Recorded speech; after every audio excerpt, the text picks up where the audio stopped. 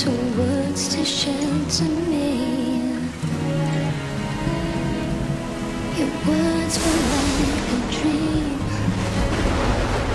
but dreams could never fool me. Not that easily. I acted so distant then, didn't say goodbye before you left. But I was listening. Don't fight your battles far from me.